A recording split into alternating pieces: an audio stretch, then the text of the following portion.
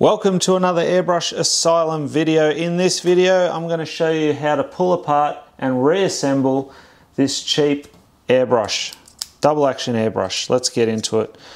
Remove the handle first, unscrew the needle locking nut, pull the needle out. You can see, you can see this is a 0.2 mil. So remove the locking nut the assembly. You can definitely feel the quality isn't as good as something like the Iwata, Badger, Harder and Steenbeck, all those other airbrushes, the brand name airbrushes, but I still want to show you how it all comes apart and how to get it back together just in case you did grab yourself one of these.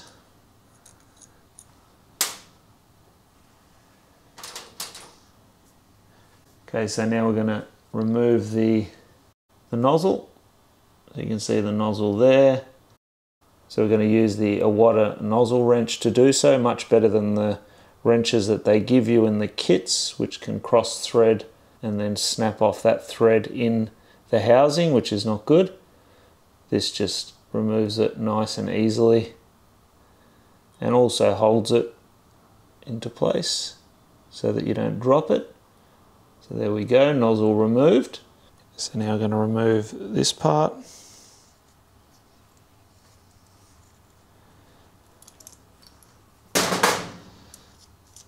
Loosen that. See that casing, very different to a lot of the airbrushes, but you can see the uh, hole there where the air comes through and where the nozzle actually screws right in. Okay, so remove the cup, which is kind of cool because you can use it as an inkwell as well. Get in now and remove the plunger assembly. Need one of these tools. You just need those two prongs and put them into the hole there and then you unscrew it. You gotta be careful because once this comes loose, the spring's gonna wanna pop out. Now with the Iwata brushes, this sits really snug. This one not so much. If you haven't seen any of my videos where I put this airbrush up against the Iwata Eclipse, then check them out. I'm going to put some uh, links in the description so you can have a look at those videos. I did a couple of verses ones and also one creating some artwork using both brushes. Alright, so that's the plunger assembly. See the spring there? That comes off. So whenever you're whenever your trigger is sticking, so if you find that you press down on your trigger and it just sticks and holds on the air, a lot of the time it's this area here, the plunger assembly might have a little bit of dirt on it somewhere and that's just uh, then grabbing and making that air stay on. Okay, so almost pulled the whole thing apart.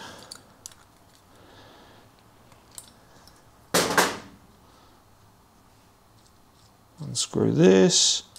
You can see the machining isn't the best, but as you'll see in my videos, the airbrush definitely does work, performs um, well enough for someone who's never tried airbrushing before and just wants to give it a go and it's a, a cheap way of getting into the hobby. I'm also going to go ahead and remove the needle packing which is in there. Don't know if you can see that. I'm going to use this tool here. You can see the um, it's got that guiding prong and then almost like a little um, Phillips head on the end there to unscrew the needle packing. So let's go ahead and do that now.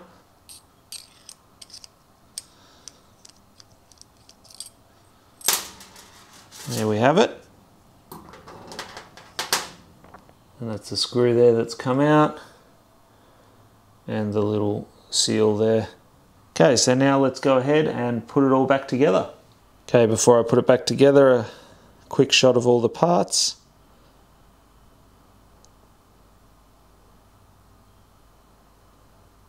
And the tools that I use to pull it apart.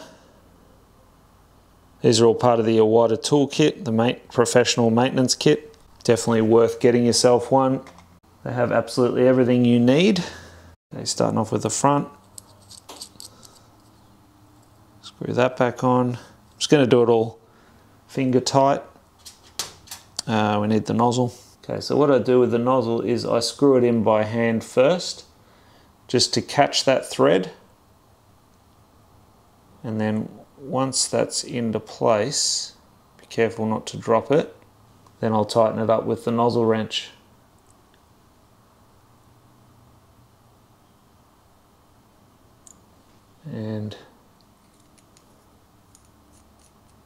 Placing that back on and the air cap.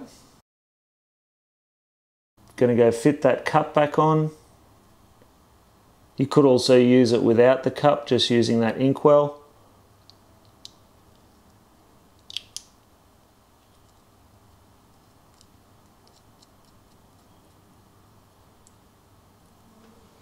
Okay, so now we need to work on the plunger assembly. We'll get this part here, spring sits like so, then that part goes towards the top, then tip it upside down, drop that back in, get the little tool. And start press down, start winding that back up. Now this one doesn't exactly work as well for this brush as it would for the Iwata. And to test to make sure it's put together correctly, just press down a couple of times and you should feel the springiness, then you know it's uh, put together correctly. Now screwing that back on here. Okay, so now that the plunger assembly is fitted, before we fit the trigger, I have to fit the uh, needle packing back into that area there. So let's go ahead and do that. Grab this little tool, line it back up again, and guide it in and just spin that around to screw it back in until it's tight. And then I usually go about a quarter about a quarter turn loosen it so that you can get your needle back through. So you can't have it fully tightened because then you won't be able to put your needle through. Okay so now with the trigger a good way to know which way to put the trigger in is that notch identifies the back and this is one of those triggers which is a bit more difficult to put in. It's got that wobbly spot there which you have to kind of line up in that hole. So just going like that line it up and then if you've done it correctly you should have that action of uh, you could feel the, the uh, spring bouncing up and down. Now we're going to fit this on there guide that through and up. So through and up. So put the spring on Put this back on. And this is virtually a trigger tension. So the more you screw this in, right, so that's pretty much all the way, that's going to give you a much tighter throw. If you loosen that off, then you'll see it's smoother. Loosen it right off, there you go still flicks back reasonably quick, but you can, like you can't feel it obviously because you're watching a video, but I can definitely feel that that's smoother.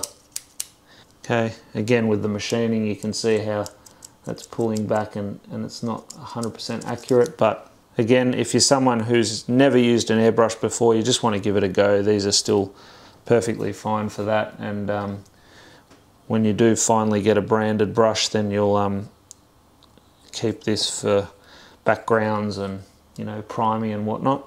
All right, so re reinsert the needle. So the locking nut, screw it on, push the needle in until it seats. Don't like jam it, like don't force it too hard because you could split the fluid nozzle.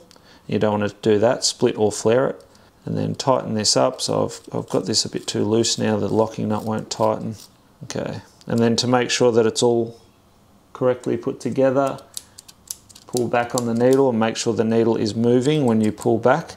If it's not, then you'll fill this all up with paint and you'll pull back and nothing will happen because that needle needs to move back and forth to allow that paint to come through. Okay, so final piece of the puzzle is the handle that just screws back on. And there you have it, pulling apart and reassembling a cheap airbrush. Be sure to check out some of the other videos and playlists that I've got listed here so that you can continue your learning. And until next time, grab your airbrush, do some amazing artwork yourself, and I'll see you again very, very soon in the next video.